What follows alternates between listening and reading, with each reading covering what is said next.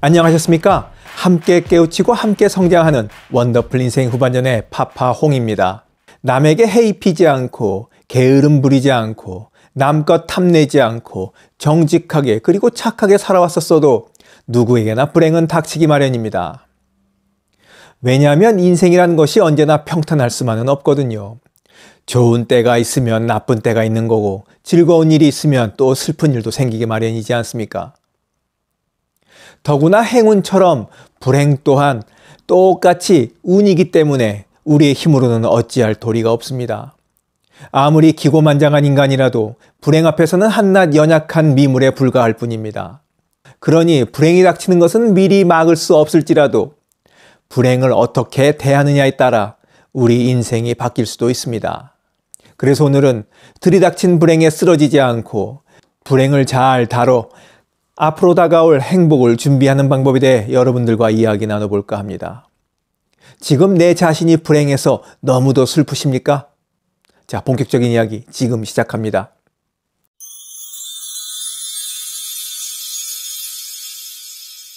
인생 후반전에 들이닥치는 가장 큰 불행은 뭘까요?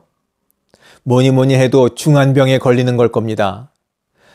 건강에 운동이 좋다, 뭐 이런 음식이 좋다, 스트레스 관리는 이렇게 해야 한다고 말들 많지만 그것으로 암, 치매와 같이 우리가 무서워하는 질병을 모두 막아낼 수는 없습니다. 사실 암이나 치매에 걸리는 것은 복불복에 가깝다고 하죠. 아직도 의학기술로 밝혀내지 못한 사실이 너무도 많기 때문입니다. 그렇다고 해서 운동 열심히 하고 좋은 음식 가려 먹고 스트레스 관리하는 게 필요 없다는 말씀은 아니니까 오해 없으시기 바랍니다. 아무리 복불복이라지만 우리가 할 수 있는 노력은 또 해야 하는 거니까 말입니다. 암이나 치매와 같은 중병에 걸렸다는 의사 판정으로 내게 불행이 닥쳤음을 확인하는 순간 사람들은 어떻게 반응할까요?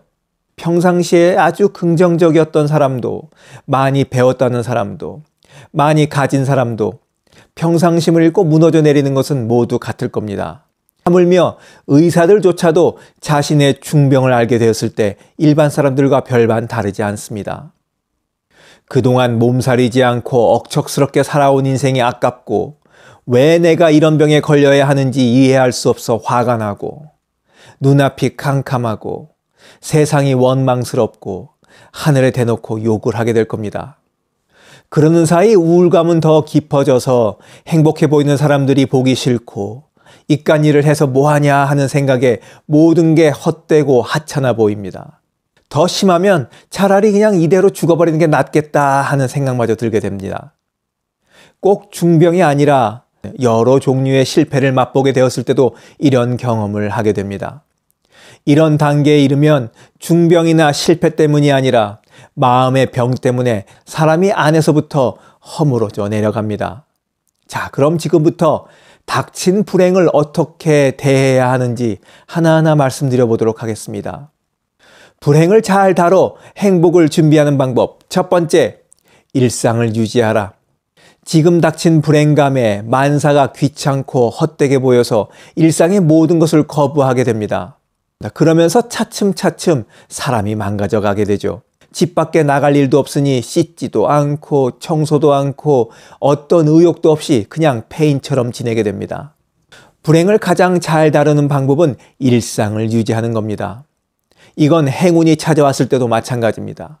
로또 당첨이라는 어마어마한 행운을 쥐었다고 그날로 회사를 때려치우고 안 하던 짓을 하며 지내다가는 얼마 가지 않아 전보다 더 못한 삶을 살아가게 되었다는 이야기들 많이 들어보셨을 겁니다. 일상이 무너져서 사람이 망가지게 되면 나중에 불행이 물러가고 행운이 돌아올 때쯤 대가를 또 톡톡히 치르게 됩니다. 불행은 물러갔지만 폐인 생활을 벗어나지 못해 일상 회복을 위해 또 힘든 시간을 보내야 하기 때문입니다. 불행을 잘 다뤄 행복을 준비하는 방법. 두 번째, 위안과 치유의 공간을 찾아라. 영화나 드라마에서 난관에 부딪힌 주인공이 혹은 또 낙담한 주인공이 온데간데 없이 사라져 걱정과 조바심으로 모두가 찾아 헤매일 때, 아, 거기 가면 분명히 있을 거야 하며 그를 찾아가는 곳이 있습니다. 그곳에 가면 정말로 주인공이 앉아 있어요. 바로 그곳이 주인공에게는 위안의 공간이자 치유의 공간입니다. 힘들 때 위안받고 아픈 마음을 다독일 수 있는 여러분만의 특별한 장소가 있습니까? 저는 사람 붐비는 시장이 그런 곳이고 낙원 상가가 그렇습니다. 시장에 가면 모두가 활기차게 생활들 하잖아요. 그곳에 가서 여러 사람들의 모습을 보고 길을 받는 거죠. 저는 종로에서 고등학교를 다녔고 회사 생활도 종로에서 했습니다. 그래서 종로에서의 추억이 많은데 회사 생활할 때도 스트레스 받고 그럴 때마다 악기들이 가득한 낙원상가에 가서 이런저런 악기 구경하고 또 연주인들을 구경하면서 한두 시간을 보냈던 기억이 납니다. 여러분들도 불행감에 빠져 있을 때 여러분만의 위안과 치유의 공간을 찾아가 보시기 바랍니다. 불행을 잘 다뤄 행복을 준비하는 방법 세 번째 마지막 일어나지도 않는 일로 기운 빼지 마라. 불행이 닥치면 사람 심리가 더 악화될 상황을 미리 걱정해서 심리적으로 모든 것을 놔버리는 경우가 허다합니다. 지금도 힘든데 앞으로 닥칠 더 큰 걱정으로 아예 포기해버리는 거죠. 제 친구도 암 진단을 받자마자 죽음이 코앞에 닥쳤다는 생각에 또 암이 온몸으로 퍼져나가면 얼마나 아플까 하는 두려움에 아무것도 하지 못하고 한 달 정도를 침대에 누워 무기력하게 보냈다고 합니다. 그러다 아이고 지금 내가 뭐 하는 거지 하면서 정신이 번쩍 들더랍니다.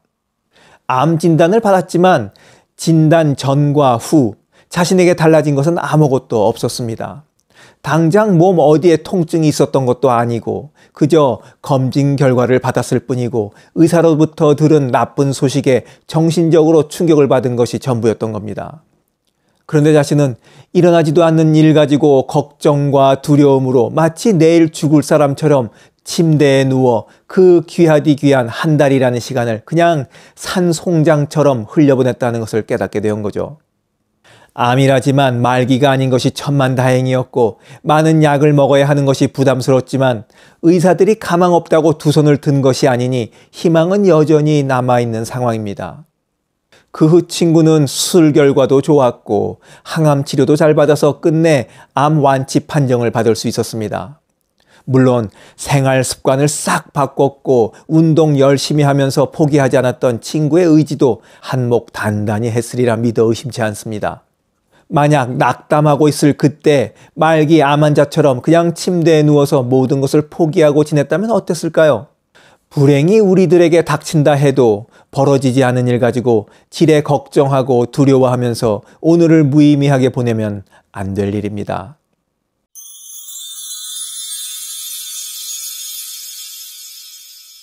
불행은 누구에게나 닥치기 마련입니다. 예외 없습니다.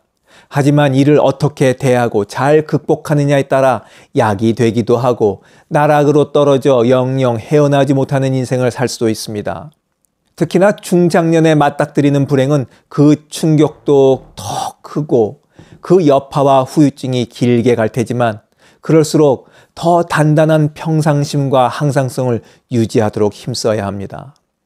영상을 보신 모든 분들이 불행을 잘 다뤄서 하루빨리 전화위복하시길 기원하며 오늘 이야기 마치도록 하겠습니다. 원더풀 인생 후반전에 멋지게 나이 먹기는 계속됩니다. 감사합니다.